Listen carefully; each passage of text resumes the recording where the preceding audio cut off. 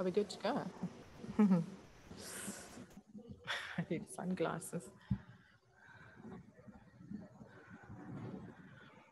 Are we good to go? Yes? Um, quick question: Is there any way to dim the Serait-il possible de baisser la luminosité, s'il vous plaît, surtout euh, en hauteur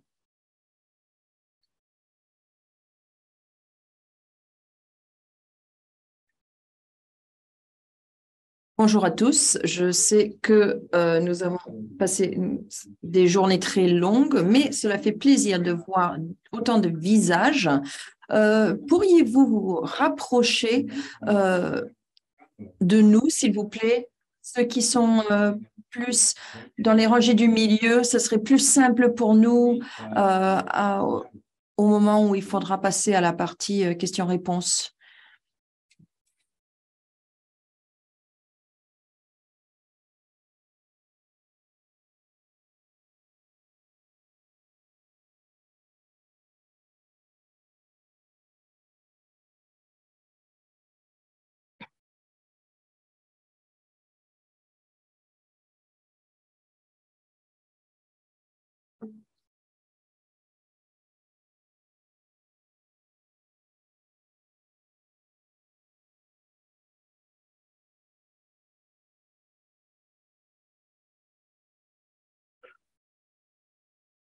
Beg pardon? Okay. Good afternoon and welcome. Bonjour à tous, bienvenue à notre séance plénière qui est très très importante. Au cours des derniers jours, nous avons eu des débats, euh, des discussions très très intéressantes et nous pouvons tirer beaucoup de leçons de chaque région. Malheureusement, nous n'avons pas le temps de faire le point, de résumer ce qui euh, sort de chaque euh, région. Euh, Permettez-moi de, euh, me présenter. Je m'appelle Anna Caripicciano. Je suis originaire du Mozambique, mais je suis basée actuellement en Afrique du Sud. Cela fait euh, presque une vingtaine d'années que je travaille dans les médias et depuis 17 ans, je me consacre à ma passion qui est la communication sur le changement du comportement et la communication. J'ai participé à la conférence euh, sur la communication euh, euh, qui a eu lieu en Afrique du Sud, Sud en 2018 et j'ai été invitée de faire, partie du comité directeur en 2020. Euh, depuis, nous avons passé quelques années difficiles et une semaine très, très chargée et forte en émotions. Entre 2020 et 2022, notre groupe de comité directeur a décidé de continuer les discussions. Comme vous pouvez le constater, chaque région a euh, organisé des ateliers, des webinaires et d'autres types de discussions. Notre objectif aujourd'hui est la et d'examiner les défis et les spécificités de chaque euh, et les euh, région par région et aussi d'examiner les synergies qui existent entre les régions. Nous avons ici un panel euh, de présentateurs. Je vais les présenter et ensuite nous passerons à un résumé de chaque région. Euh, avant de commencer, j'aimerais savoir combien de représentants des pays d'Afrique y a-t-il dans la salle. S'il vous plaît, levez-vous. N'hésitez pas à vous mettre debout. Merci. Bonjour aux personnes venant d'Afrique. Afrique latine, euh, pardon, Amérique latine et les Caraïbes. Levez-vous. Voilà, ils font beaucoup de bruit. Ils sont prêts à faire la fête. Asie du Sud. Asie du Sud, voilà, se manifeste. Bienvenue et les représentants du Moyen-Orient et Afrique du Nord. Voilà.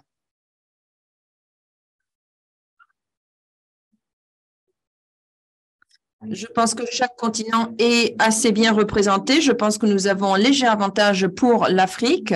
Bienvenue à tous. Maintenant, je vais présenter notre euh, facilitatrice, donc Adelaida, vous la connaissez peut-être, elle est anthropologue et elle est basée au Royaume-Uni.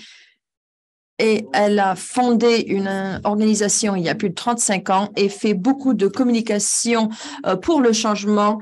Euh, elle travaille surtout en Amérique latine, Colombie et ailleurs. Elle, elle euh, produit des documents, du matériel, du contenu surtout dirigé pour les jeunes et les enfants. Alors, nous allons avoir des euh, écouter les présentations, mais ensuite nous euh, passerons la parole à vous dans la salle parce que euh, on aimerait échanger sur ce qui se passe dans les régions et sur le terrain. Notre première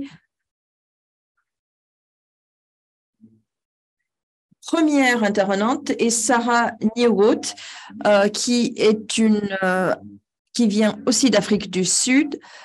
Elle euh, est coordinatrice d'un programme de euh, changement du comportement euh, social à l'université de Witwatersrand à Johannesburg. et cela comprend aussi un programme de master dans la santé publique et d'autres formations à courte durée. Elle est passionnée par euh, les partenariats entre le gouvernement, la société civile et d'autres institutions académiques euh, dans la région.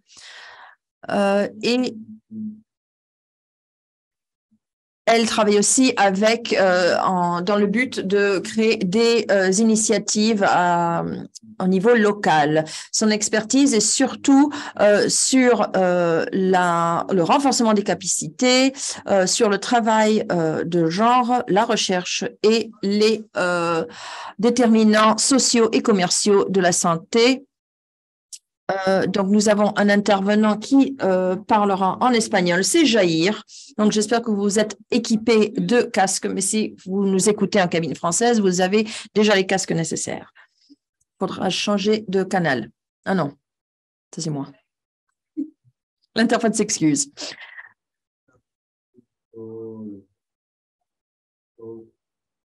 Donc, Jair va parler de comment le chant a euh, changé. Euh, il, a plus de 25 ans euh, d'expérience dans le travail militant sur la communication.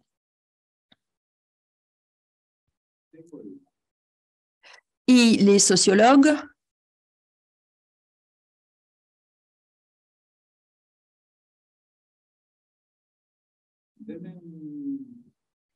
So we need the clicker for these slides.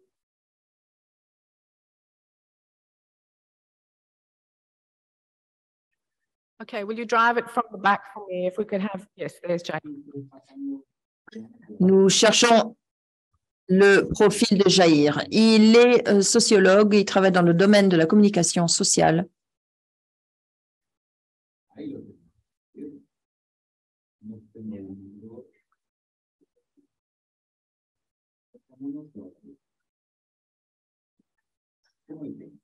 Donc, comme je disais, il est professeur, euh, il est chercheur aussi euh, et euh, il travaille dans la culture de communication et changement social. Il est coordinateur aussi du programme de master dans son université. Nous passons maintenant à Dorina. Dorina Andreev Gitaru a 20 ans d'expérience dans le domaine de, du changement de comportement social et la recherche sociale. Elle a travaillé avec l'UNICEF, l'OMS, euh, l'UN, euh, euh, l'ONUDS, l'UNEP et l'UNFPA, le Terre des Hommes et autres. Déjà Capil, non, pardon, Dorina est une experte euh, en statistique et a travaillé dans des contextes humanitaires et de développement dans le, et surtout basé sur les sujets euh, de vaccination, de la santé maternelle et euh, infantile, l'éducation, nutrition et sur le, contre la violence de genre, entre autres.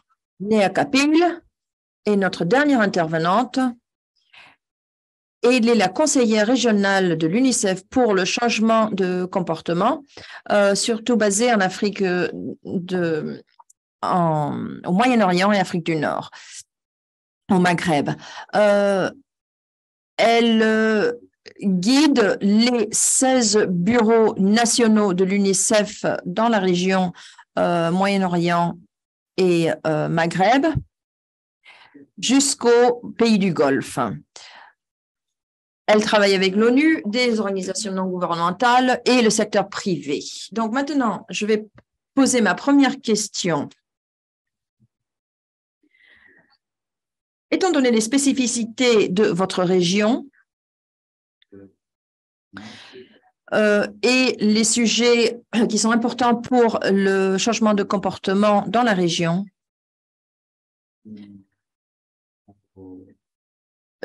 nous avons organisé plusieurs formations, plusieurs événements dans le domaine euh, en amont de notre sommet. Ces formations euh, dans le dans la région. J'aimerais savoir quelles ont été les leçons tirées, qu'est-ce que vous avez appris euh, et quels sont les gros défis auxquels vous êtes confrontés. Pour ceux qui veulent le je suis là parce que je remplace euh, un autre intervenant euh, qui malheureusement n'a pas pu obtenir un visa. Nous avons organisé plusieurs consultations en Afrique en amont de ce sommet, quatre événements. Premièrement, euh, au Nigeria, qui examinait le rôle de la communication euh, dans, le, euh, dans le contexte de, de mésinformation, désinformation aussi au Malawi, un autre événement, un troisième en Afrique du Sud, qui a examiné le sujet de l'écoute sociale et ce que nous pouvions apprendre de la région. Et nous avons aussi fait un webinaire régional qui se concentrait sur le comportement social et comportemental et comment cela convergeait avec euh, les connaissances et euh, le plaidoyer pour l'environnement dans la région.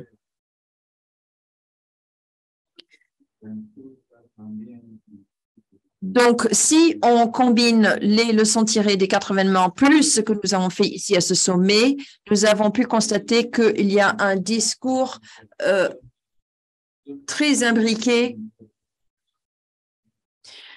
Et on voit que euh, les il existe des fonds, mais euh, qui, qui nous arrivent euh, goutte par goutte, qu'il se passe beaucoup de choses sur le terrain, mais malheureusement, parfois, on ne sait pas ce que fait nos pères. Il manque un peu de communication à notre niveau. Nous avons vu aussi quelques défis, par exemple, non, je dirais des opportunités, surtout dans les différents contextes. Dans le contexte de l'écoute sociale, nous avons constaté que euh, il y a une manque de confiance entre le, les gouvernements et les citoyens. Donc, nous avons beaucoup discuté de comment nous pouvions ouvrir le dialogue et renforcer euh, les relations de confiance et aussi euh, d'appliquer le, les ce que nous faisons pour améliorer la communication par rapport au Covid et nous avons élargi le périmètre et nous avons appliqué ces stratégies à d'autres euh, sujets dans le domaine de la santé.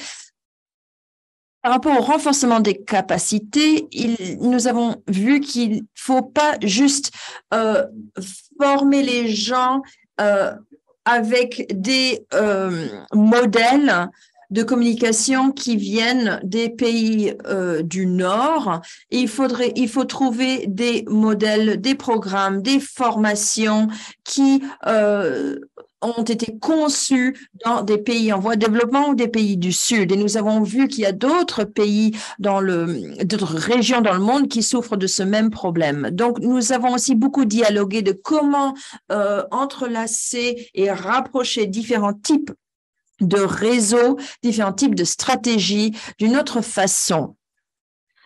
et ce par rapport au changement climatique. Euh, lors du plénière de mardi, on en a déjà beaucoup parlé, mais je voudrais aussi mettre l'accent sur le fait que le changement climatique est un sujet euh, qui transversal et il faut faire plus pour travailler avec tous les acteurs et les parties prenantes dans ce domaine euh, et voir quels sont les comprendre les processus et les valeurs qui sont importants pour nous et comment on, peut les croiser avec euh, les différents défis auxquels nous sommes confrontés. Je vais euh, m'en arrêter là pour le moment et peut-être on reprendra quelques sujets par la suite. Par rapport au changement climatique, nous avons effectivement constaté que certains domaines ont eu un gros impact, surtout dans certaines sous-régions de l'Afrique. Euh, et le, je ne sais pas si vous avez participé à notre, euh, notre groupe euh, Afrique hier, et nous avons eu des représentants de presque 50 pays.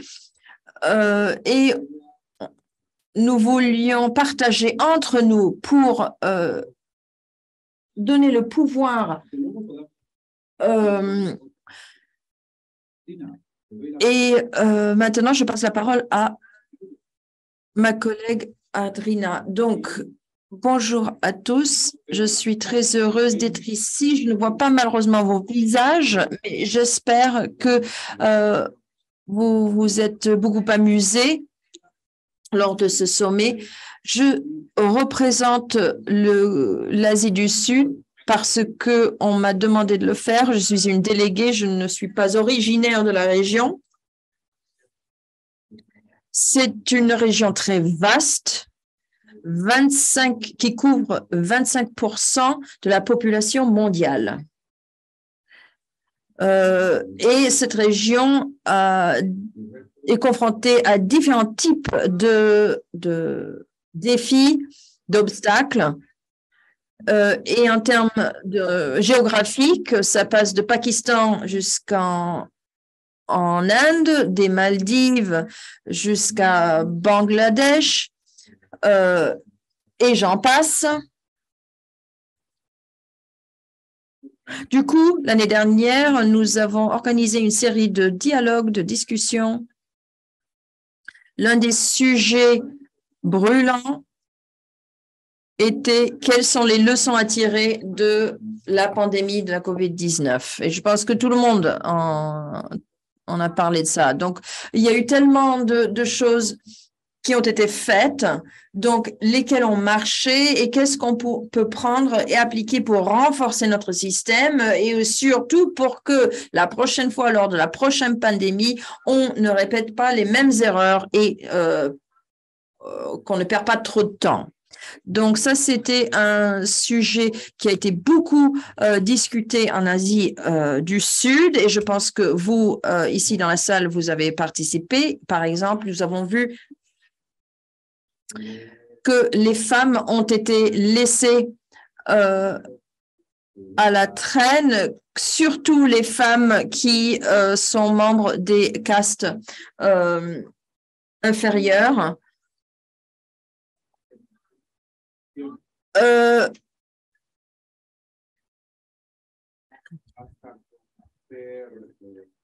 Et plutôt que d'organiser des formations ou des discussions et d'imposer les sujets et la discussion, comment est-ce qu'on peut plutôt euh, construire quelque chose sur la base de l'énergie et l'élan et le dynamique qui existe sur le terrain?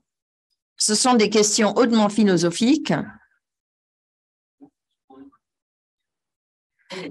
Et je pense que nous souhaitons tous euh, connaître les réponses, mais je pense que c'est euh, les questions qu'on doit tous se poser. Par rapport au sujet d'intérêt, bien évidemment, le changement climatique, la nutrition, les urgences. Vous avez entendu parler de, des inondations au Pakistan, l'insécurité en Iran, le, les Maldives, le Bangladesh qui sont menacés fortement par le changement climatique, euh, l'identité euh, du genre.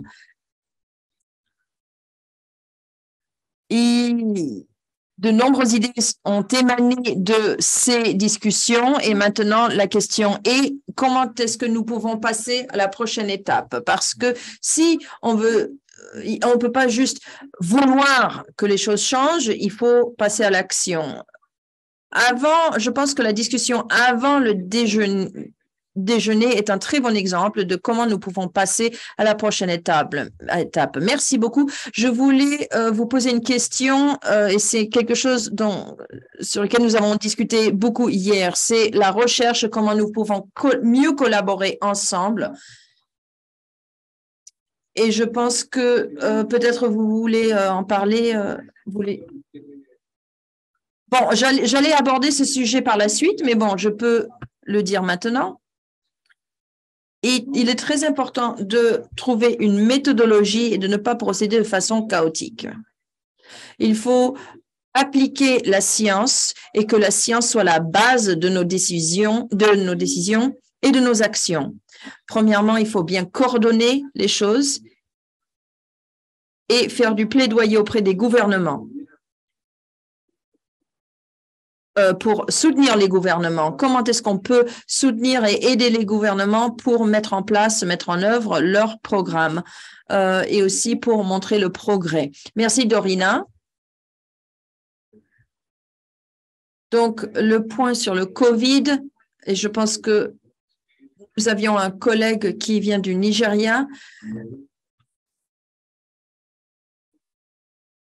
a dit que, a posé la question comment est-ce qu'on peut euh, encourager les gens à continuer euh, à appliquer les, les, bonnes habitudes telles que le lavage de mains à la fin de la pandémie? Donc, notre collègue Jair va s'exprimer en espagnol. Merci beaucoup, Anna. C'est une chance d'être ici. Je veux tout d'abord vous dire qu'aujourd'hui, euh, je suis ici, mais je suis le porte-parole de beaucoup d'autres voix. Ce n'est pas mon point de vue seulement, mais le résultat de nombre de débats, des discussions que nous avons eues euh, en Amérique latine et autour des thématiques euh, de développement, telles que les processus de communication de notre région. Ce n'est pas quelque chose que nous avons préparé donc pour le sommet, mais ce sont des débats réguliers autour des différents domaines et nous profitons du sommet pour partager cela. Par ailleurs, l'Amérique latine et la Caraïbe, c'est un territoire fort divers. On ne peut pas parler d'un territoire unique ou homogène. Les, différences sont marquées, euh, que ce soit du point de vue économique, culturel, etc.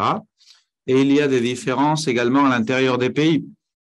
Euh, il n'y a pas une homogénéité, même si les indicateurs parfois euh, semblent montrer un certain degré de bien-être, mais les différences sont structurelles et sont grandes.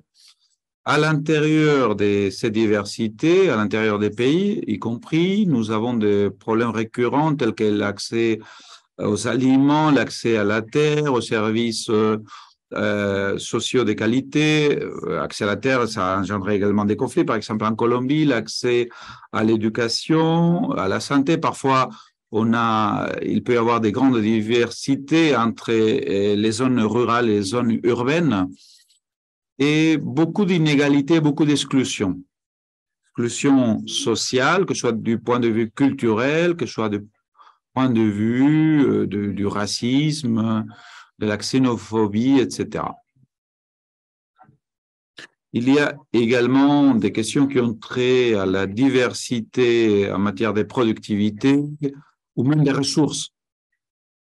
Différentes agences de coopération internationale ont voulu euh, apporter leur pierre à l'édifice en termes de santé euh,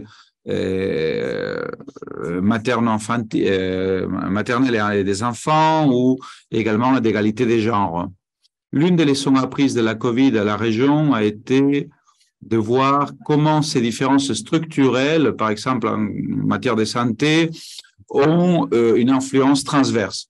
Par exemple, la COVID peut avoir des impacts non, seulement, non seulement du point de vue sanitaire, mais également sur d'autres aspects de la vie des personnes. Il y a des questions qui ont une importance névralgique, telles que les droits de l'homme, la justice, l'accès à la justice, la corruption dans différents pays. Je ne vais pas nommer des pays spécifiques, mais ce sont des questions qui sont encore pressantes ainsi que le besoin de construire la paix et des conditions de vie en communauté. C'est très important, les débats autour de transformer les actions punitives, de répondre à la violence par plus de violence et d'aller vers des euh, systèmes de justice transactionnels. Euh, pour répondre aux conflits, que ce soit des conflits armés, euh, engendrés par les, par les, même par, par les propres gouvernements, ou que ce soit au, problème, euh, par exemple, des maras. Euh, au Venezuela, par exemple, nous constatons une question de migration, ou la migration de l'Amérique centrale vers les États-Unis, c'est une question récurrente, et puis le trafic de drogue qui euh, croise la région andine pour aller vers l'Amérique du Nord et qui traverse toute l'Amérique centrale. Et cela vient empirer d'autres questions. Et je vais faire référence également au, au, déclin du point de vue environnemental qui impacte l'Amazonie et d'autres régions. Nous voyons des phénomènes extrêmes du point de vue météorologique, des inondations, etc. Mais je me permets également de faire référence à quelque chose qui est souvent omise, et c'est tout ce que nous avons en matière de communication dans notre région. Il y a une richesse qui a trait à la pensée communicationnelle. Nous pensons souvent à Paulo Freire parce qu'il est très connu, mais nous avons une forte tradition, que ce soit Rosa Maria Alfaro, euh, des personnes qui ont travaillé autour de la construction des identités, Jesus Martin Barbero, et beaucoup d'études autour de la culture. Rosana Rerillo, Clemencia Rodriguez, qui a été ici et qui travaille sur la communication citoyenne. Ce sont des questions transverses. Bon. Par ailleurs, la communication populaire et citoyenne. Il y a beaucoup de processus de communication populaire qui se donnent à travers l'art, la culture. Il y a une forte diversité et richesse dans les différents pays. Par ailleurs, euh, la société civile s'organise. Nous avons vu euh, Eliana avec Minga, la Fondation Imaginario, Calandra, autour des différentes questions. Il y a des conservatoires, des fact-checking, etc. Il y a beaucoup d'organisations ainsi que du journalisme citoyen et il y a beaucoup d'interventions d'État et d'organisations internationales qui ont justement mélangé des approches même si le débat est encore ouvert pour savoir si la communication est verticale ou pas, s'il est instrumental, ou, et comment incorporer d'autres éléments qui donnent euh, une durabilité au processus. Enfin, je voudrais faire référence à deux questions qui sont fort importantes pour la région. Tout d'abord, les mouvements sociaux, euh, très forts en Amérique latine, qui ont empêché des réformes qui étaient nocives et qui euh, ont une influence politique ou tout récemment, par exemple, qui ont fait une forte contribution pour faciliter l'accès au Chili ou en Colombie au gouvernement, des gouvernements de gauche. Enfin, je ferai un commentaire qui me semble très important, euh, qui est euh, autour de la communication propre, ce qu'on appelle la communication des peuples indigènes, le peuple d'origine africaine. Euh, il y a une autre téléologie du développement, il y a un autre rapport à la vie, et tous ces, euh, toutes ces formes de communication sont fort différentes des nôtres. Lorsqu'on parle du bon vivre, euh, qui a trait à la vie des peuples autochtones, ce n'est pas une communication entre êtres humains, mais également entre l'homme et la nature qui se regardent mutuellement. C'est une communication donc euh, euh, qui inclut la nature pleinement, ou une communication autour du vivre savoureux qui a trait aux traditions plutôt africaines et qui se base sur euh, la célébration de la vie, ce qui n'est pas le cas, par exemple, lorsqu'on parle des droits de l'homme, dans notre cas.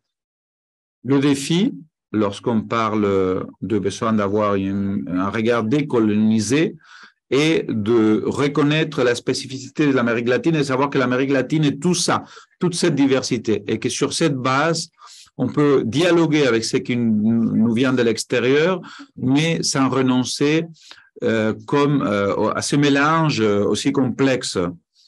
Euh, sur cette base-là, on peut dialoguer avec l'extérieur, mais ça nous laisser imposer un regard extérieur. Merci beaucoup.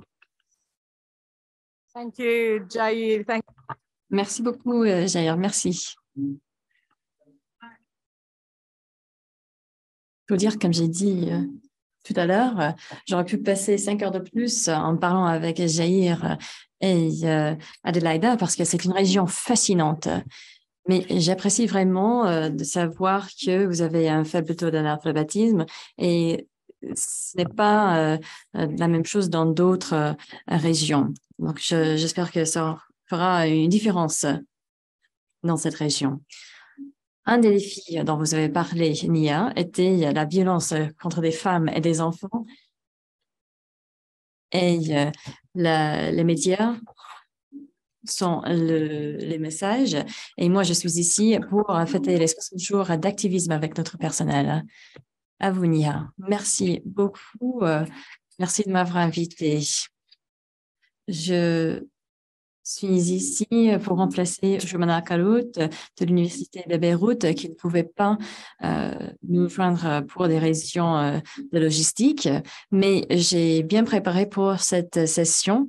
Et maintenant, je suis ici sur la strade et nous représentons les points de vue de plusieurs organisations, des agences et des professionnels qui travaillent partout dans la région. Et j'espère que euh, je serai à la hauteur euh, dans la représentation de tous leurs points de vue et leurs perspectives.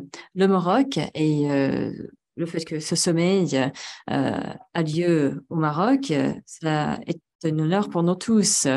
Le Maroc, c'est un endroit géographique en Afrique qui est étroitement lié au Moyen-Orient et le Maroc fait partie de la Ligue arabe. Donc, pour, tout, pour nous tous qui travaillent au Moyen-Orient et euh, la région de l'Afrique du Nord. C'est formidable d'avoir euh, ce sommeil euh, ici. C'est aussi, ça arrive à, à Tombapartin et c'est un, bon moment pour renforcer notre collaboration avec les autres organisations et les régions qui sont représentées ici.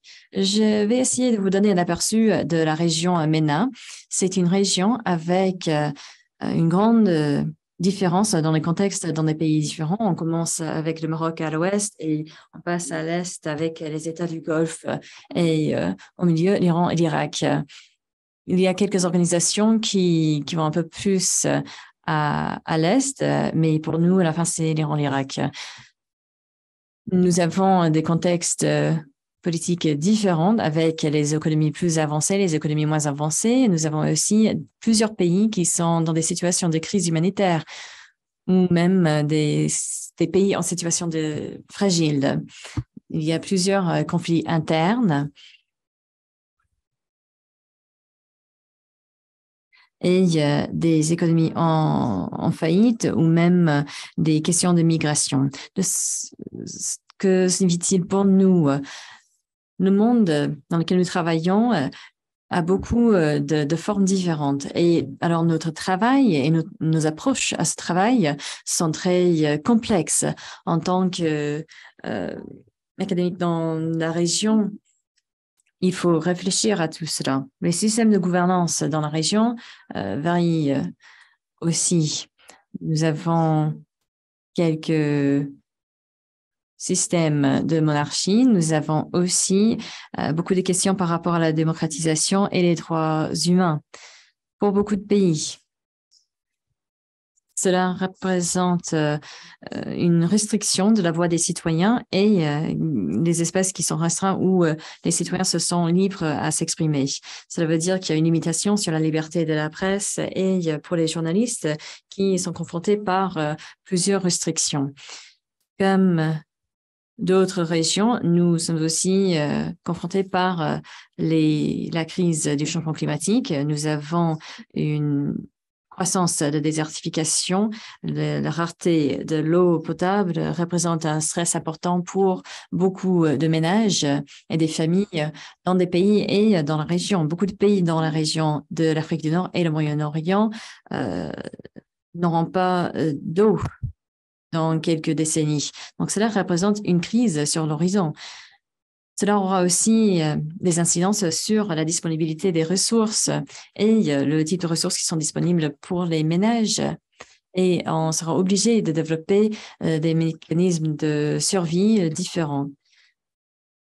Cette région, comme les autres, a connu des retombées après la pandémie. Les, les taux de PIB ont tombé et nous avons aussi euh, le nombre de personnes qui ont besoin de l'aide humanitaire a augmenté. C'est 20% de la population. Donc, c'est énorme. Quelques autres choses. Les normes du genre euh, dans la région euh, et nous voyons la discrimination à tous les niveaux de du niveau des ménages jusqu'au niveau euh, de la politique. Nous avons, comme beaucoup d'autres régions, euh, une population jeune croissante qui euh, fait face à un taux très élevé du chômage. Donc voilà quelques, une idée du, du contexte général dans lequel nous travaillons. Dans la région MENA, nous sommes toujours à, la phase d'organisation en tant que bon partenaire. Au fil des dernières années, nous avons organisé plusieurs webinaires euh, euh, en ligne euh, sur des sujets comme, par exemple, le changement climatique, l'adolescence, les jeunes, la santé, la réponse aux épidémies et aux pandémies et d'autres changements. Je pense que ce genre d'organisation, euh, ces consultations. Peut-être euh, que nous ne sommes pas encore aussi organisés que d'autres régions ou que d'autres structures, mais nous avons toujours des idées de ce que nous pouvons utiliser comme base euh, pour notre travail. Nous avons aussi des idées par rapport à la communication, surtout dans la région, tout comme les autres régions. Nous pouvons continuer avec ce triangle de capacité, des ressources, des données. Et nous pensons que ce n'est pas toujours une priorité, ce n'est pas quelque chose qui est bien compris dans la région euh, par les gouvernements. Il y a une intégration assez limitée de ce travail euh, dans le travail de développement et le travail humanitaire. Il y a bien sûr des programmes d'éducation dans la région euh, pour le CS, CCSC. Et cette semaine, la société civile a choisi d'établir des initiatives pour avoir un engagement durable. Mais nous avons aussi des limitations. Nous sommes limités dans ce que nous pouvons collecter en tant que, euh, que comme données, mais aussi ce que nous pouvons partager euh, par le biais de nos programmes. Euh, je vais m'arrêter là. À vous la parole. Merci Nia et, très bien. Merci beaucoup. Pour les 15 prochaines minutes, nous allons vous passer la parole. Nous allons euh, contrôler un peu euh, parce que nous pensons qu'il y aura beaucoup de, contributions. Nous ne voulons pas entendre des questions, mais plutôt des commentaires, des observations, des constatations de ce que vous avez euh, connu dans vos régions. Nous avons des microphones volants et si vous voulez parler de vos expériences, de vos apprentissages pour tirer parti de ce que de Panel a dit un petit commentaire pour tous ceux qui parlent espagnol ou d'autres langues. Je vais vous dire si vous pouvez ralentir, parler doucement un petit peu. Merci. Nous avons des collègues qui sont toujours volontaires pour cela. Les pays qui n'ont pas encore organisé des consultations dans les régions. Collègues, Jensen, Emma. Microphone, s'il vous plaît. Nous les avons demandé euh, d'être euh, brefs. Ils n'ont que trois minutes euh, pour parler de la Malaisie et d'autres pays. Bonjour, je m'appelle Emma. Ici, mon collègue Jensen et nous venons de la Malaisie. Pour tous ceux qui ne connaissent pas notre pays, nous sommes un pays à revenu intermédiaire en Asie du Sud-Est et les pays à revenu intermédiaire sont comme l'enfant au milieu de, la fratrie. Donc, nous avons toujours besoin de plus d'attention. D'abord, un grand merci à les organisateurs de nous avoir donné euh, plus euh, de ce temps et cet espace de parler et de parler de ce mouvement CCSC. Il y a certains pays euh, qui ont euh, des héritages culturels et euh, de, colonialisme. Et pour répondre à ces questions, il faut réfléchir comment, euh, en tant que pays de cette région, euh, coexister et compléter pour les bienfaits de nos générations et de nos peuples? Comment est-ce que le travail CCSC peut encadrer les sociétés existantes en tenant compte des structures existantes? Nous avons euh, accessibilité à l'Internet, surtout euh, parmi les jeunes, et comment euh, créer des centres de transformation euh, rurale en travaillant avec la culture et les sociétés. Nous avons des régions euh, euh, dynamiques et des cultures euh, dynamiques qui sont enracinées dans la société. Avec cette richesse de société, il y a bien sûr des tabous et des normes culturelles qui influencent les croyances des personnes sur ce qui est approprié et qui sont des com- comportements appropriés. Nous avons euh, plusieurs initiatives menées par la communauté. Ce sont des initiatives qui devraient être menées par les personnes, créées par les personnes, pour les personnes. Nous avons euh, un mouvement en ligne qui travaille sur euh, plusieurs euh, initiatives, la santé sexuelle et reproductive, les, questions liées à la culture et les tabous. Plus récemment, nous avons constaté un grand mouvement sur les réseaux sociaux qui ont, encouragé les jeunes à voter pour les expliquer qu'ils avaient le droit et le pouvoir de déterminer qui devrait être le chef du pays. Nous avons aussi euh, travaillé sur un mouvement des réseaux sociaux euh, qui a été créé pendant la pandémie. Nous avons un hashtag qui veut dire que nous nous occupons de nous-mêmes. C'est quelque chose qui a été créé pendant la pandémie. C'est un moyen de montrer la sensibilité de la communauté, d'être proactive et de faire face aux grandes questions euh, de la communauté. En réponse au premier confinement, il y avait beaucoup de personnes qui ont été touchées par euh, la perte des revenus et d'autres problèmes. Nous avons organisé des leçons pour les enfants et nous avons aussi fait un levée de fonds pour tous ceux qui avaient besoin des, fonds pour acheter à manger et à euh, se soigner. Le- L'esprit de l'altruisme a réverbéré partout dans le pays et cela est devenu un symbole de la force de la communauté, de la confiance dans la capacité de, de la société et euh, notre capacité de changer. Ce que nous avons vu récemment euh, avec euh, la crise des inondations, nous avons vu la continuation de ces mouvements des hashtags. Pendant cette crise, le secteur privé a aussi répondu à cet appel à l'action. Par exemple, nous il y avait euh, euh, les ventes des kayaks et des canoës qui ont été limitées pour euh, fournir de l'assistance à tous ceux qui cherchaient à aider les victimes des inondations. Nous avons aussi euh, travaillé pour l'amélioration du CCSC euh, en Malaisie et dans nos communautés.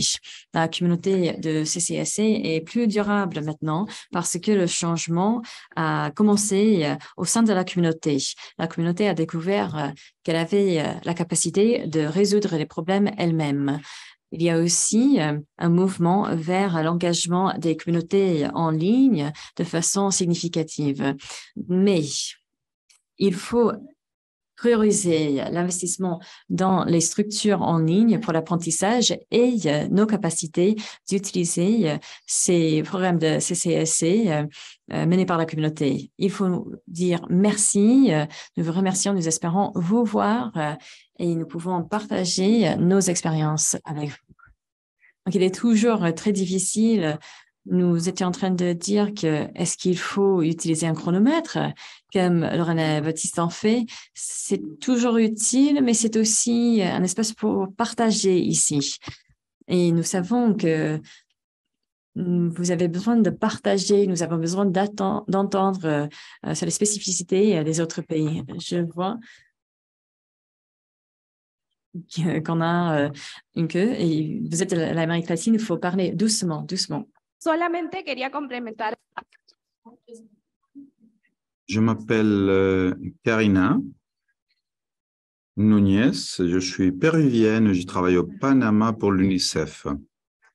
Je voulais euh, partager avec vous euh, ma voix qui vient se rajouter au, au point de vue de Jair. Je suis d'accord avec les défis tels qu'ils ont été euh, exposés et du point de vue du SBC, il faut commencer à trouver des façons de travailler avec les communautés d'origine africaine, indigène, autochtone, sans imposer nos points de vue étrangers. Un petit exemple. Il y a des communautés au Panama, des autochtones, qui ne connaissent pas le concept de l'adolescence. Il y a l'enfance et ils passent directement à l'âge adulte. Donc, euh, notre défi pour euh, les spécialistes du SBCC, c'est de travailler avec ces communautés tout en tenant compte de leurs spécificités. Ne pas imposer rien du haut vers le bas, par exemple le concept d'adolescence, mais avoir un rapport beaucoup plus horizontal. Je voulais partager cela parce que Jair a présenté un regard très, euh, très, complet, mais je voulais être plus spécifique. Which, Y a-t-il euh, quelqu'un d'autre qui lève la main? Besoin des microphones volants. Nous avons Catherine. Si vous avez déjà un microphone, si vous pouvez lever la main. De l'autre côté, de l'autre côté. Ici, au centre. Oui, le microphone. Ah, voilà. Je me cache. C'est très difficile de voir avec euh, ces lumières-là. Euh, euh, vous êtes d'où? Vous êtes d'où d'abord? Je viens de l'Afrique du Sud.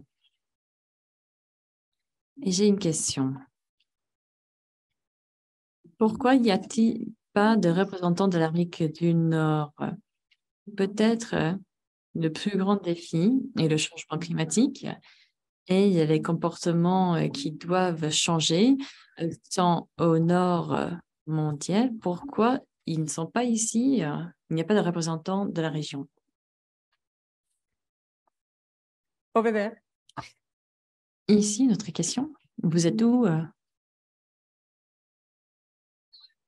Bonjour, euh, je m'appelle Sina, je suis une étudiante du Maroc. Euh, Je tiens à vous remercier. Merci à CCSC parce que cette session est une grande occasion pour nous.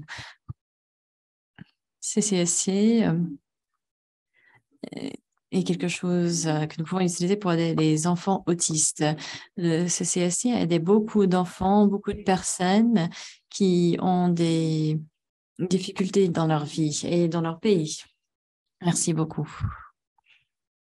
Oui, il faut toujours penser aux, personnes euh, porteuses d'handicap. Euh, Microphone, oui. Bonjour à tous et à toutes. Je m'appelle Aïcha.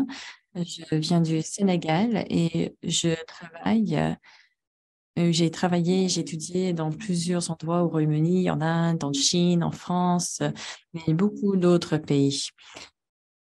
Pour l'instant, je travaille euh, chez Diacté International pour les questions de, des services euh, électroniques pour la santé et la santé reproductive. Je travaille aussi euh, pour le comité des Jeux olympiques. Au Sénégal, nous avons créé une organisation pour les femmes travailleuses et pour l'autonomisation sociale et économique, mais aussi pour les enfants autistes ou les enfants ayant certains handicaps. Nous avons travaillé pour euh, les apprendre à, à créer de la poterie et euh, des euh, objets euh, en céramique. Mais j'ai une question par rapport à la gouvernance et euh, les difficultés avec la gouvernance en Afrique, euh, comme euh, certains panélistes ont mentionné. Quelles sont les solutions parce que dans beaucoup de ces pays, les systèmes de gouvernance euh, existants ne sont pas des systèmes adaptés à la culture ou ce sont des systèmes qui ne sont pas adaptés aux comportements sociaux ou les valeurs sociales et croyances de la population. Pour la plupart, ce sont des systèmes de gouvernance euh, qui ont été hérités euh, du système colonial. Quelles sont vos solutions ou quelles sont les solutions que vous proposerez pour résoudre ces problèmes? Merci beaucoup. Nous avons un collègue euh, du Mexique. ¿Qué tal? Bonjour, c'est un plaisir d'être ici. Je m'appelle Ana Cecilia Campos, je viens du Mexique et je suis très heureuse d'être ici en représentation de Magenta. Mon commentaire s'adresse euh, plutôt ou adresse plutôt cette question de la communication en Amérique latine, euh, telle que Jair l'a exposé. Le terme de changement social et du comportement de nos jours n'est pas compris en Amérique latine de la même façon que nous comprenons la communication sociale ou la communication communautaire ou encore le travail avec les communautés autochtones.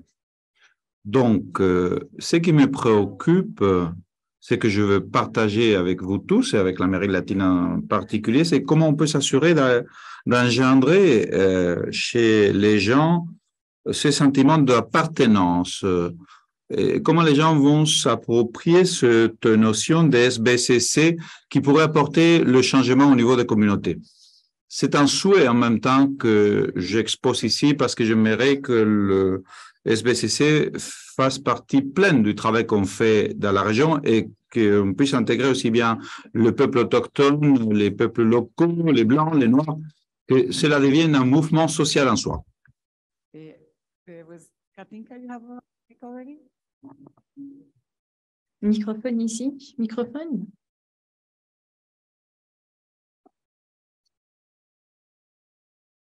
There's a, like three Je vois qu'il y a trois personnes qui veulent poser des questions ici. Et après, nous avons besoin de, de notre microphone. S'il vous plaît, Oui, je m'excuse euh, pour ceux qui ont parlé en espagnol, parce que je n'ai pas pris d'écouteur, j'ai été imprudent, donc je pensais que ça allait être en anglais, en français ou autre. Voilà, donc euh, en suivant les panélistes, dont j'ai compris euh, ce qu'a présenté, ce qu'a partagé les trois panélistes, euh, le quatrième c'était en espagnol. Et quand je les écoute attentivement, il est très clair qu'il y a une grosse similitude entre les pays ou les régions. Euh, similitude en termes de diversité, en termes de complexité, en termes aussi de défis. Euh, la bonne nouvelle, c'est qu'en matière de SBC, on est en train de s'engager fortement vers la génération d'évidence qui permettent vraiment de, de prendre en compte les réalités socio-culturelles anthropologiques au niveau local. Et c'est là, moi, mon, mon souci et aussi l'encouragement que je nous ferai, c'est que nous nous engageons vraiment vers les données locales. Quand on parle de diversité, on parle aussi de spécificité. On parle également de, de détails qui échappent quand on regarde avec des œillères. La culture est tellement profonde et diverse que nous ratons beaucoup de choses si nous voulons globaliser et nous voulons généraliser.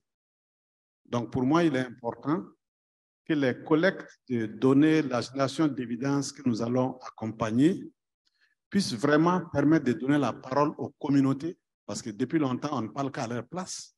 Maintenant, essayons de leur donner la parole, essayons de les entendre sans mettre d'écouteurs, essayons de comprendre ce qu'ils nous disent pour pouvoir travailler avec eux vers les changements que nous souhaitons. L'exemple banal que je vais donner, au cours d'une supervision de campagne de vaccination polio, nous avons vu une maman prendre son enfant au marché et courir à toute vitesse pour aller à la maison parce qu'elle avait peur qu'on vaccine son enfant. Cette maman, son souci, c'est le bien-être, c'est la santé de son enfant. Le vaccinateur qui est venu pour vacciner son souci, c'est le bien-être, c'est la santé de l'enfant. Pour le même intérêt, il y a une vision différente. Comment nous sommes en mesure d'entendre, d'écouter, de faire avec les communautés, avec les choses locales qui peuvent marcher. Merci. Thank you. Uh, al- Merci beaucoup. et merci pour dire. euh, Merci. Euh, Je suis Dr. Jabré, je suis marocaine. Alors, moi, ma question, c'est de savoir, avec le changement euh, de comportement sur lequel nous sommes en train de travailler. Est-ce qu'il n'est pas possible d'essayer d'abolir le racisme? Parce que j'ai vécu, j'ai vu dans certains pays, malgré euh, que ces pays euh, ne sont plus colonisés, malgré, le, malgré tout ce que ils ont pu, que les autorités euh, soient des autorités euh, du pays, il y a toujours un certain racisme. Et j'ai visité un pays que je ne veux pas euh, citer, où il y a vraiment, où il y avait l'apartheid, où on sent qu'actuellement, les, les Blancs vivent d'un côté et les Noirs de l'autre. Et j'ai été vraiment surprise. J'étais à, à, euh, euh, enfin, à, euh, Cape Town et j'étais avec une amie de l'Inde qui a la même couleur que moi et nous avons demandé au chauffeur de taxi de nous emmener dans notre hôtel qui était cinq étoiles et nous a dit est-ce que vous y travaillez? Et vraiment, j'ai été choquée. C'est ce que je voulais vous communiquer. Donc, il faut vraiment, on sent que le racisme augmente, il faut vraiment travailler dans ce sens. Et je vous remercie. Merci. We're gonna take the mic. Merci. Na- Maintenant, nous allons euh, euh, prendre le microphone ici. Après, j'ai toi, vous, vous, vous, Karinka euh, et une dame ici.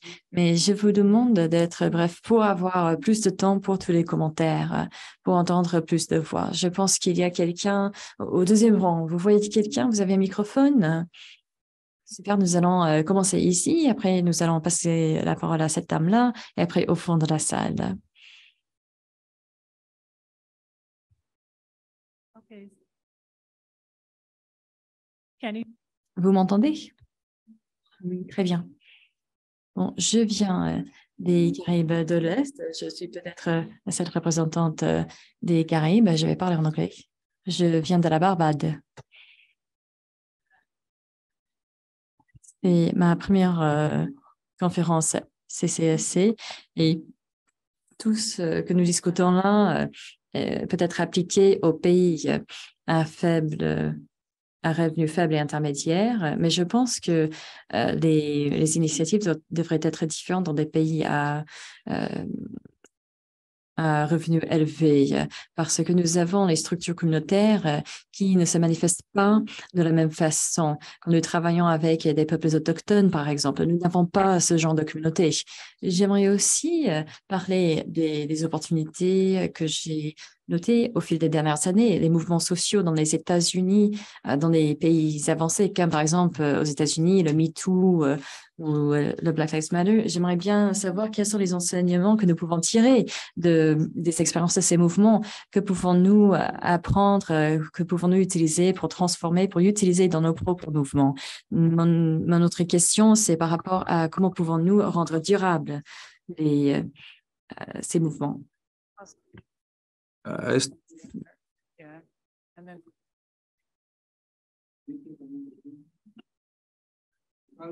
On cherche des micros, surtout à l'arrière de la salle.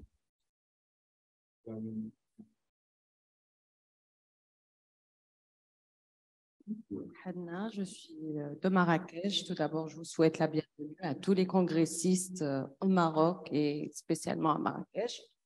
Je suis membre d'une association de scolarisation de la jeune fille rurale. Nous scolarisons 223 filles à l'année. J'aimerais bien relever un point qui est très important. Alors, euh, le point, je parle du stress hydrique, du changement climatique et de la pandémie qui ont provoqué beaucoup, beaucoup de problèmes, énormément de problèmes, surtout dans le milieu rural. Qu'a prévu comme solution le SBCC pour essayer de, de trouver des solutions pour l'autonomisation de la jeune fille rurale et surtout de la femme rurale. Merci. sí. Merci de Maroc. Aló. Eh, il y a quelqu'un là-bas. Sí, ¿tú, tú ya tienes el micrófono? Sí, Ya. ya tengo el micrófono. Gracias. Doucement, doucement, s'il vous plaît. Alors, ça fait une demi-heure, peut-être que nous nous sommes retrouvés, les Latino- latino-américains, pour un déjeuner, nous nous sommes réunis et Nous sommes bien d'accord, entre autres, pour commencer la consolidation d'une communauté entre les différentes organisations, institutions et professionnels du domaine du SBC. Le but étant d'échanger des expériences et d'avoir un rapport de travail beaucoup plus proche et fréquent. Il faut penser grand. Comment pourrait-on, et c'est une question que j'adre- j'adresse aussi bien aux panélistes qu'au reste des participants, engendrer ces genres de communautés qui nous permettent de nous connaître, de savoir ce que les uns et les autres font en Amérique latine, euh, le sud-est asiatique, etc., et commencer à s'intégrer. Est-ce qu'on pourrait compter avec une plateforme qui nous offre la chance de pouvoir partager des expériences euh, sans attendre le prochain sommet? We have two more, so I have to be sim- Encore deux euh, commentaires. On vous apporte le micro.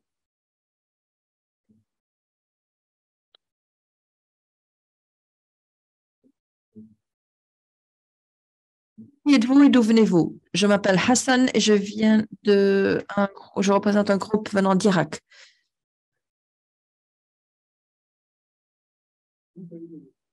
Par rapport à ce que nos différents panélistes ont dit, en reco- reconnaissant qu'il existe une large diversité de particularités dans chaque région et au sein de chaque pays de ces régions, si on met ça dans le contexte par rapport à l'idée d'imposer euh, des, idées pour le changement, comment est-ce qu'on peut euh, concilier euh, nos résultats? Parce que chaque pays, chaque société, chaque gouvernement peut avoir différents objectifs pour le changement du comportement. Et donc, est-ce que, surtout dans les régions qui sortent de conflits, et donc comment est-ce que nous pouvons être sûrs que nous sommes sur la bonne voie? Je ne parle pas dans le contexte du COVID. Parce que dans le sens du COVID, euh, la plupart des résultats de changement de comportement euh, sont très clairs, mais dans d'autres domaines, c'est beaucoup moins clair euh, ce changement de comportement et les gouvernements peuvent avoir des idées qui diffèrent. Et parfois, les gouvernements imposent des changements avant d'autres pratiques. Et ceci est un défi dans ma région et j'aimerais savoir, avoir le point de vue des différents pan- panélistes, de savoir comment ils approchent ce sujet. Merci beaucoup. C'est très difficile de vous couper la parole ou de refuser la parole à certains, mais euh, nous avons trois ou quatre commentaires et le dernier derrière. Donc, on va commencer ici devant, mais il faut lui passer le micro. Est-ce que je peux parler en arabe? Normalement, oui, parce que nous avons une cabine arabe, donc il peut s'exprimer en arabe. Alors, nous allons changer le programme afin de vous permettre à avoir à poser plus de questions euh, et ensuite je donnerai plus de temps pour la question numéro 3 qui semble intéresser un grand nombre de personnes. Donc,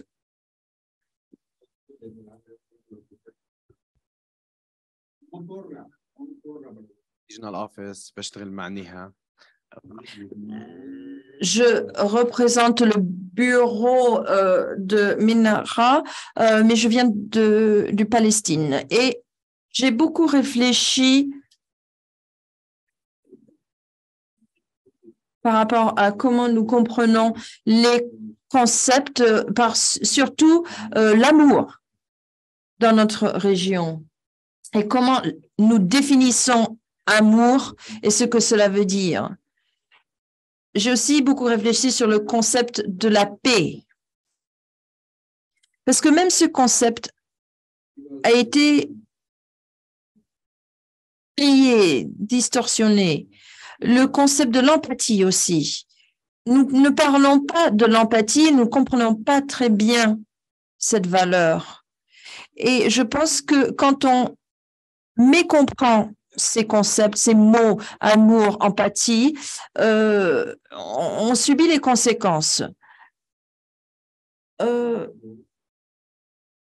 et il y a pas longtemps, nous avons vu que il existait un, une brèche euh, entre la façon dont nous éduquer les en- entre la scolarité pardon des garçons et des filles aussi euh, le concept du mariage euh, forcé euh, tous ces phénomènes sont euh, très viennent de la patriarchie.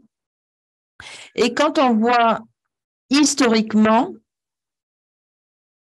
tous ces concepts sont aussi liés euh, à l'argent.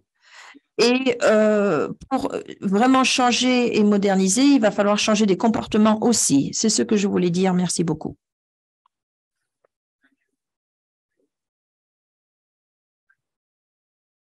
Merci, je m'appelle Mike, je suis médecin et je travaille pour une université. Et j'ai une question par rapport au comportement social et de- du changement de comportement et social. Et c'est très important dans le domaine, dans mon domaine de prédilection, qui est la santé euh, reproductive et surtout l'accès à euh, l'avortement, euh, l'avortement sûr, sécurisé. Et euh, parce que il existe beaucoup euh, de personnes qui sont contre euh, cela au sein de notre communauté, au sein du gouvernement. Hier, quelqu'un a posé la question, comment est-ce que vous gérez la question de l'avortement, l'accès à l'avortement dans, dans euh, votre pays et le, le panéliste a dit en fait ce n'est pas du ressort du ministère de la santé c'est du ressort du ministère de la justice. Et cela m'a interpellée parce que c'est très ça en dit long sur les priorités et pour moi cela n'a pas de sens.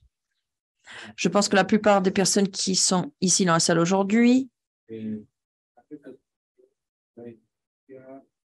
savent qu'il nous reste beaucoup de pain sur la planche afin de garantir euh, l'accès libre à toute la panoplie de services de santé.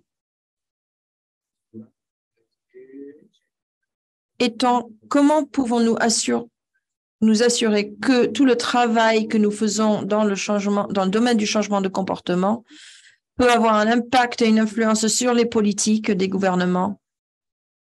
Afin que les femmes puissent vivre une vie comme les hommes, une vie normale comme les hommes, à, à l'égal des hommes. Et maintenant, nous avons des commentaires au fond de la salle.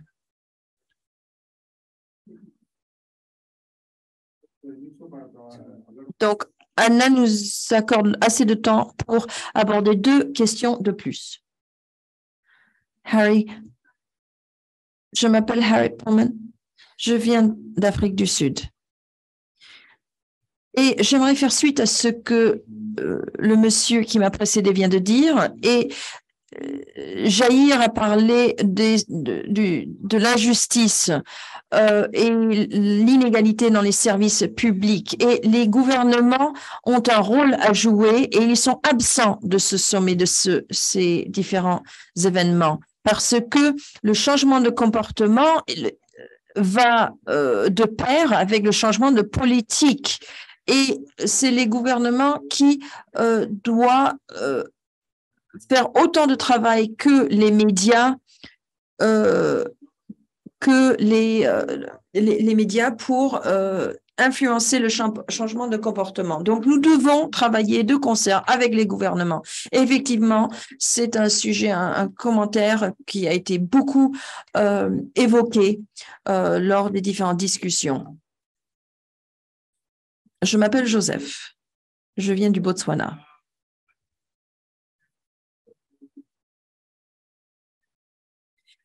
Les panélistes et les euh, contributeurs de, cette, de ce côté de la salle ont tous dit qu'il faut décoloniser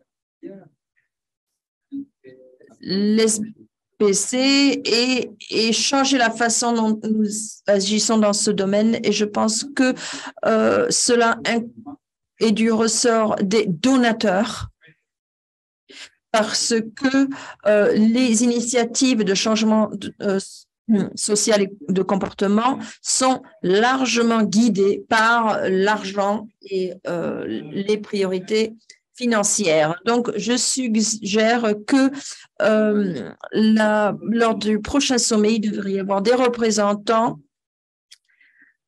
et qui expliquent euh, comment d'avoir des représentants des, euh, des, représentants des intérêts financiers qui nous permettront, ceux qui travaillent sur le terrain, de mieux agir. Donc, nous avons un commentaire au fond de la salle. Euh, merci beaucoup. Je m'appelle euh, Massamba Sall et je viens du Sénégal. Je travaille à la direction de la santé de la mère et de l'enfant. Euh, je voudrais partager un peu l'expérience de mon pays par rapport à l'implication. Vous pouvez vous lever parce qu'on ne te voit pas? Merci. Par rapport à l'implication des, des, religieux dans, dans ce que nous faisons. Parce que des études ont montré que pour changer le comportement des hommes, surtout ce qui est de la planification familiale et la santé des adolescents jeunes, il fallait euh, l'implication des religieux. Et je pense que dans des sommets de, ce, de cette nature, il faudrait autant que faire se peut euh, impliquer le plus des religieux. Par exemple, pour notre pays, nous avons 95% des musulmans, 5% de chrétiens. Et pour arriver à avoir le changement de comportement chez les hommes, il faudrait passer par les religieux. Et c'est la raison pour laquelle nous avons créé des réseaux de religieux. Et ces religieux nous ont aidés dans un premier temps à élaborer un argumentaire des religieux pour la planification familiale qui a été d'un très grand apport. Et ils sont en train aujourd'hui dans notre pays d'élaborer un argumentaire des religieux pour la santé des adolescents jeunes. Et je pense que dans des pays comme le Sénégal, comme le Maroc et d'autres pays, il faudrait une implication des religieux pour arriver à un changement de comportement des populations. Merci beaucoup. Um, the lady in blue, I think we have to go last. Okay. Yes. Hi, can you hear me? All right. So my name... C'est tout. Je m'appelle Diana. Je viens de, de la Malaisie. Récemment, nous avons organisé des formations euh, pour les médias sur euh, le CCSC pour les personnes en situation de handicap. Donc, j'ai une question à poser.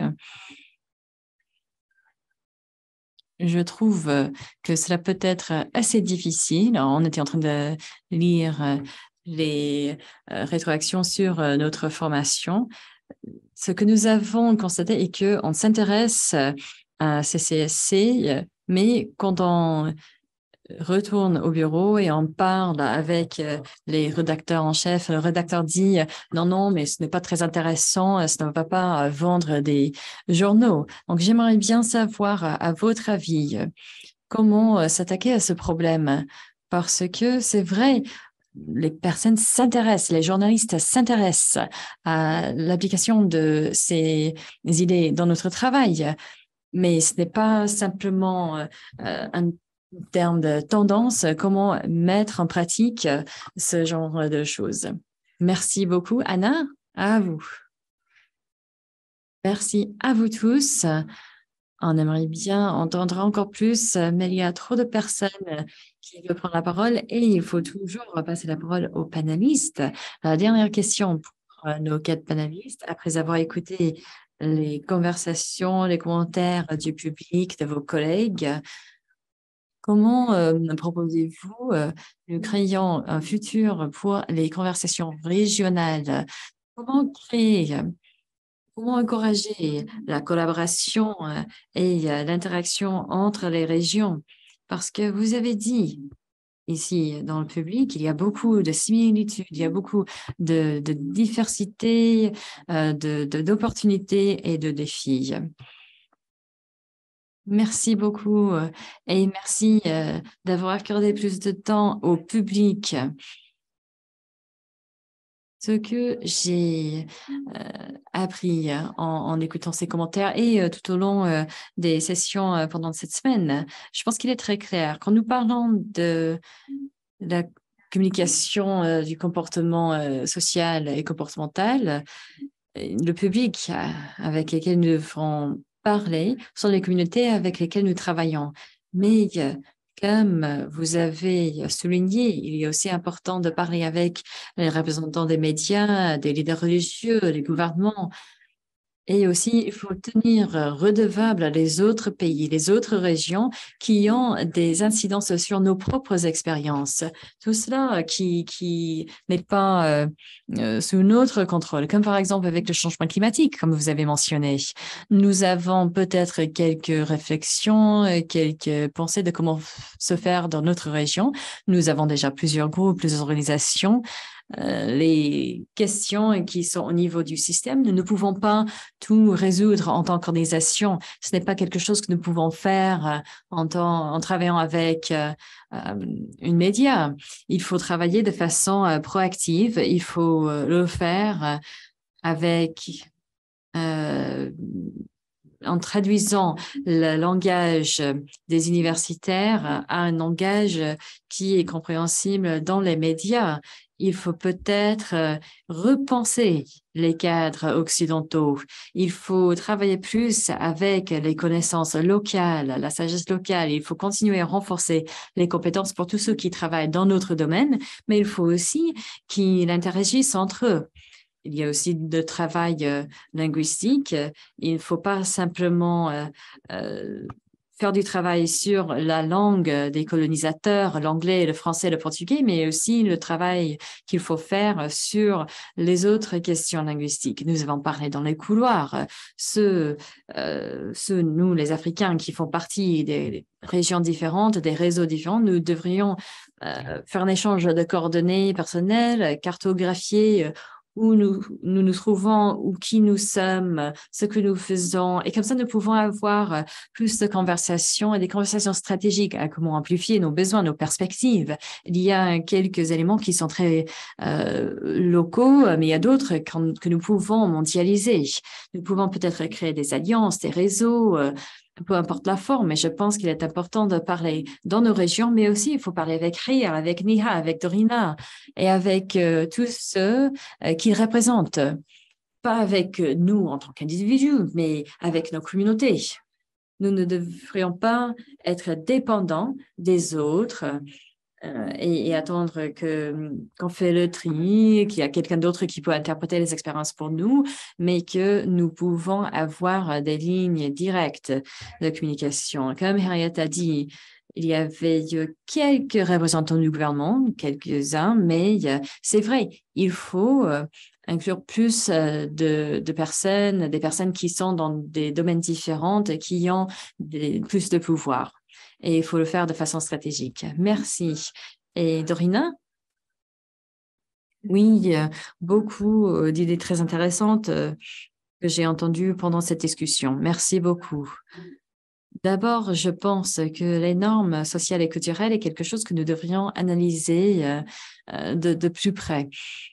Nous avons déjà entendu ce même commentaire aujourd'hui plusieurs fois l'utilisation des approches basées sur les normes sociales, les interventions euh, de changements euh, sociaux euh, qui sont basées sur les données scientifiques. La grande question est comment travailler avec ces approches.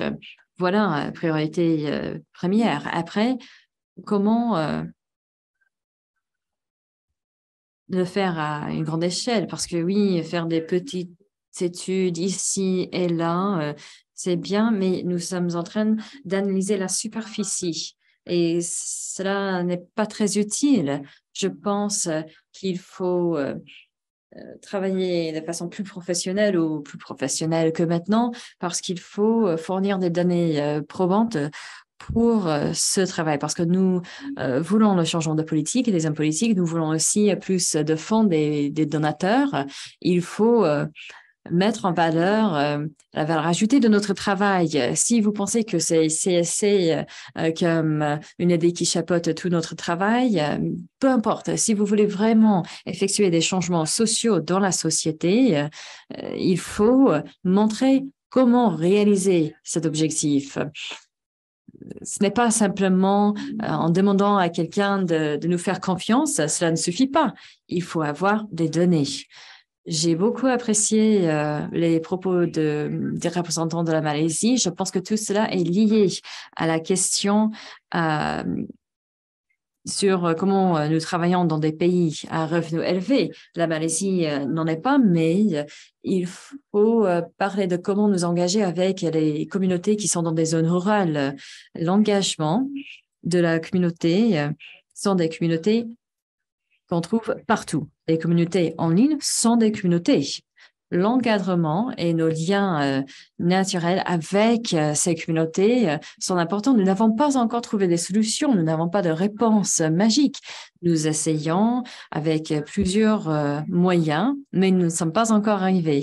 Et je pense que la dernière question, J'aimerais bien avoir beaucoup plus de temps. Euh, je sais que je, n'ai pas beaucoup de temps qui me reste, mais une dernière chose, quelque chose de très important, qui, euh, et je pense que tout cela est lié à l'ouverture de, ce domaine. Nous ne devrions pas simplement rester dans un seul endroit.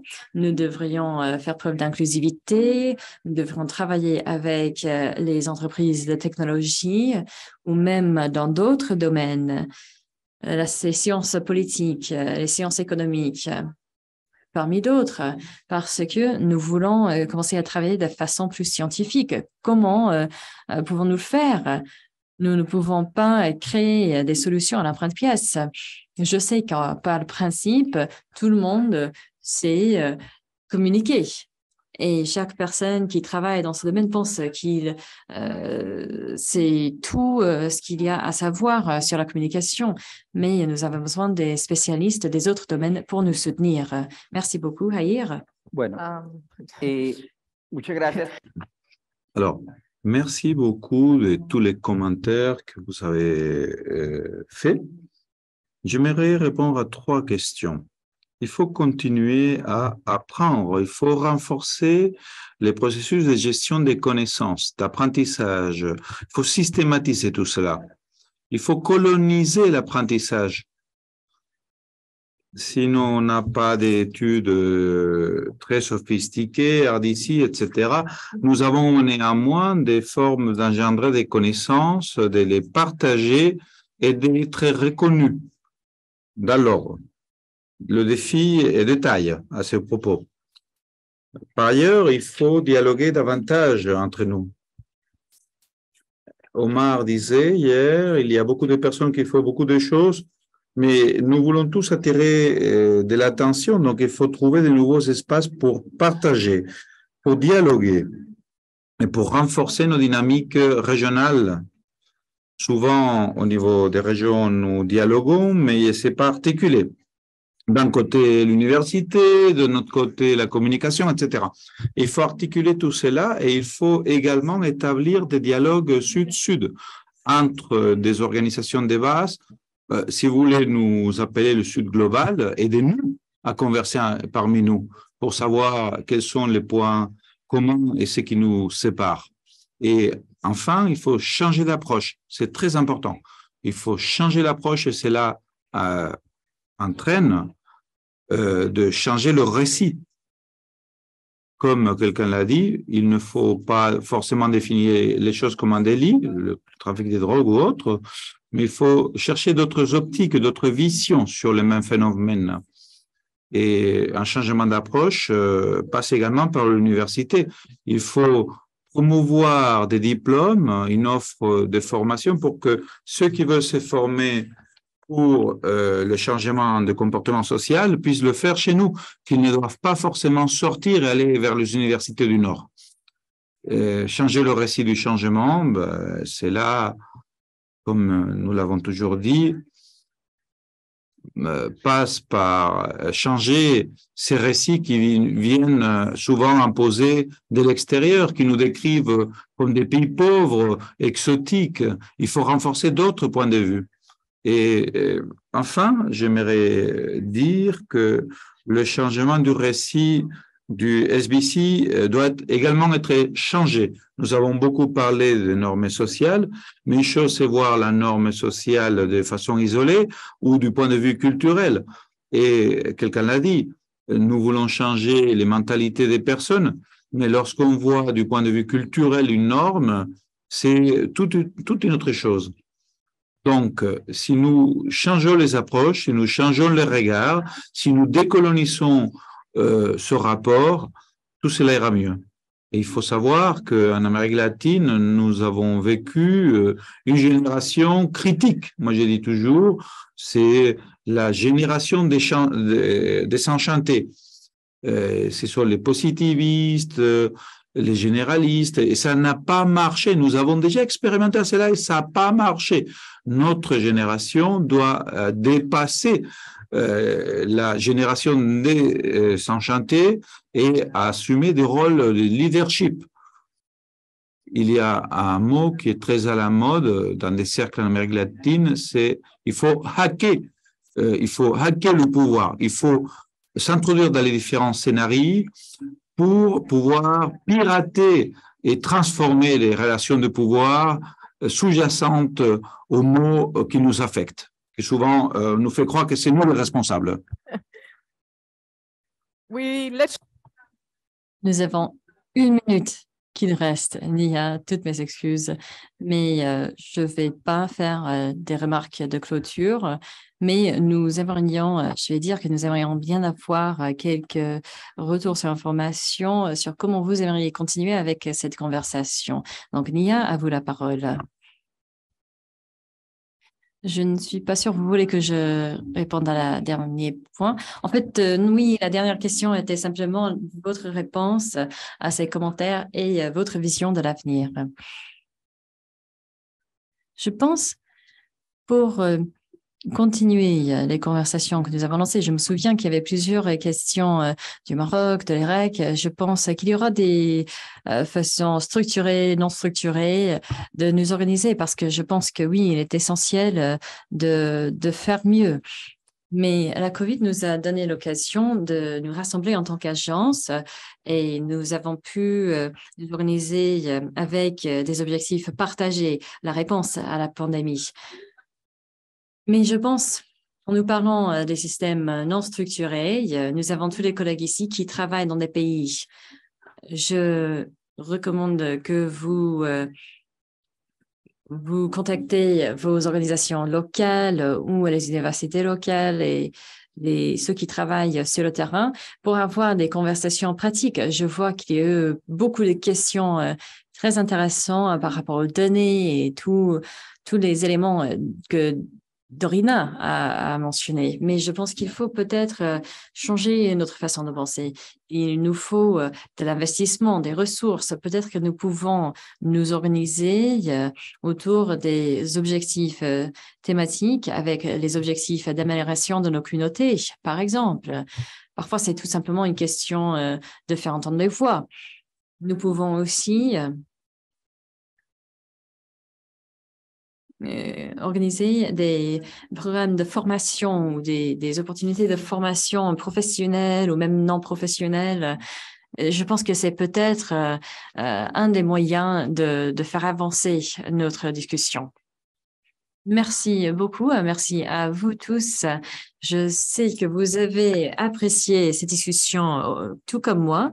Nous allons applaudir nos panélistes très chaleureusement.